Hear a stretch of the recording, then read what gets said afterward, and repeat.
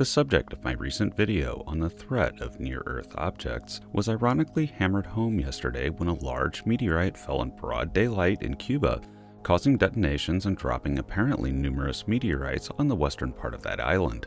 Detonations were reported along with broken glass, but no casualties, underscoring my point that at any time small asteroids can and do enter Earth's atmosphere, and much larger impacts are possible.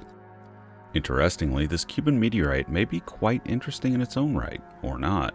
The photographs I've seen from people in Cuba on Twitter show stones that do appear to be of meteoritic origin, but it's kind of an odd looking matrix, making me wonder if this isn't a common chondrite, rather some kind of achondritic heat altered material or breccia.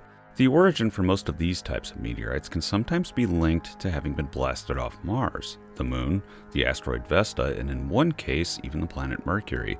It will be interesting to see what the chemistry of this meteorite ends up being. As an aside, there was also an impact on the Moon during the recent lunar eclipse that was caught by multiple cameras and even live feeds of the event. It wasn't that impressive, being just a small, almost instantaneous blip, but it's still a very rare event.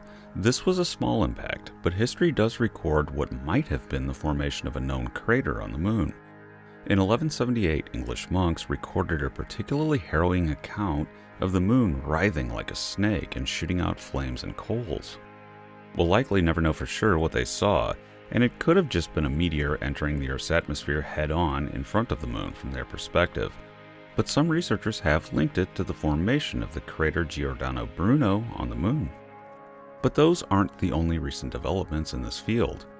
In December, researchers released news that they may have found a 31 kilometer crater locked under nearly a kilometer of ice in Greenland.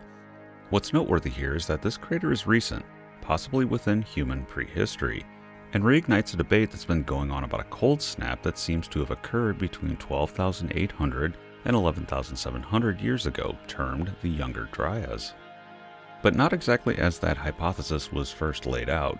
The original hypothesis regarding the Younger Dryas revolved around a small comet detonating in the atmosphere and sparking wildfires, which in turn cooled the climate. This new debate is now about whether this impact event might have been directly responsible. This may be premature because the date of the newly found crater is not yet well constrained and could be as old as 2.6 million years, far too ancient to be responsible for the Younger Dryas, However, there are other issues. Whatever impacted in Greenland seems to have not been a comet, rather, it seems to have left anomalous traces of platinum, which would be more suggestive of an iron meteorite. That kind of impact may not have been sufficient to cause the Younger Dryas, so the debate here is ongoing and very likely to evolve as it continues.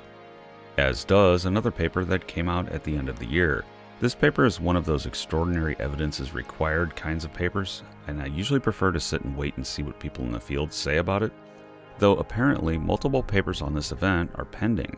It concerns an archaeological site in Jordan, Tel el Hammam, or what's being called the Middle Ghor event after the general region, and it seems to suggest that a meteorite impact on the level of Tunguska may have happened in this area about 3,700 years ago.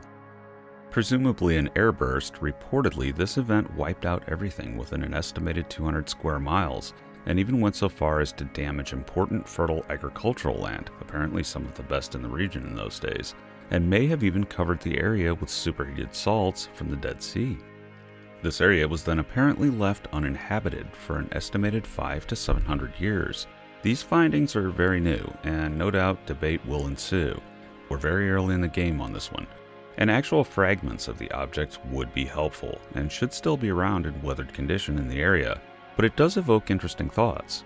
3,700 years is not that long ago, and as with the issue of flood myths and questions of the formation of the Black Sea show, perhaps long ago someone did really see fire and something like brimstone fall from the sky amid a great calamity.